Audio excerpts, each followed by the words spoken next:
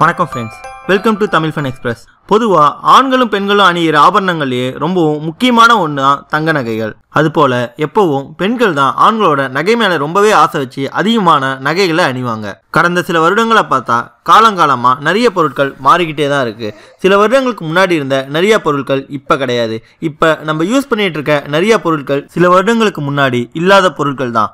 ஆனால் பல நூறு ஆண்டுகளா கொஞ்சமும் மாறாம இன்னமும் மதிப்புமிக்க பொருளா இருக்கிறது வெறும் தங்கம் தான் அதற்கு முக்கியமான காரணம் தங்கம் அழகுக்காக போடுறது மட்டும் இல்லாம நம்மளோட கஷ்டத்தை தீர்க்கிறதுக்காக எப்ப வேணா அதை பணமா மாத்திக்க முடியும். அதனாலதான் தங்கத்தோட மதிப்பு என்னைக்குமே குறையறதே இல்லை. மேலும் தங்க விலை எவ்வளவுதான் ஏறினாலும் பெண்கள் அதிகமான தங்கம் வாங்கி கூச்சிக்கிட்டே தான் இருக்காங்க. ஆனா இங்க வித்தியாசமா பாகிஸ்தான் ராவல்பிண்டியை சேர்ந்த அம்ஜித் சையதுன்றவர் யாருமே கனவுல கூட நினைச்சு பார்க்க முடியாத அளவுக்கு தங்கத்தை தினமும் அணிஞ்சிட்டு இருக்காரு. இவருக்கு தங்கம்னா ரொம்பவே பிடிக்குமா? அதனால இவர் சாதாரணமாவே வீட்டை விட்டு எங்க வெளியே போனாலும் இந்த அளவுக்கு தங்கத்தை அணியாம எங்கேயுமே போக மாட்டாராம். சையத் அவர்களை பொறுத்த வரைக்கும் அவர் குறைஞ்சது நாலு கிலோ தங்கமாவது அணியாம வீட்டை விட்டு வெளியே போக மாட்டாராம். மேலும் அவர் தங்கத்து மேல எந்த அளவுக்கு ஆசையாவும் பிரியமாவும் இருக்காருன்றத நீங்களே பாருங்க.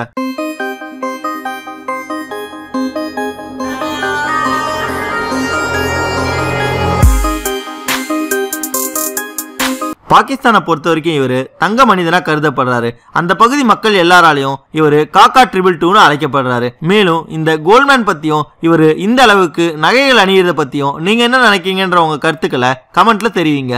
நன்றி. இந்த வீடியோ உங்களுக்கு பிடிச்சிருந்தா லைக் பண்ணுங்க. உங்க கருத்துக்களை கமெண்ட் பண்ணுங்க. மற்றும் உங்க ஃப்ரெண்ட்ஸுங்களுக்கு ஷேர் பண்ணுங்க. மேலும் இது போல இன்ட்ரெஸ்டிங்கான வீடியோஸ்க்கு தமிழ் பண் எக்ஸ்பிரஸ் சேனலை சப்ஸ்கிரைப் பண்ணுங்க. தேங்க்யூ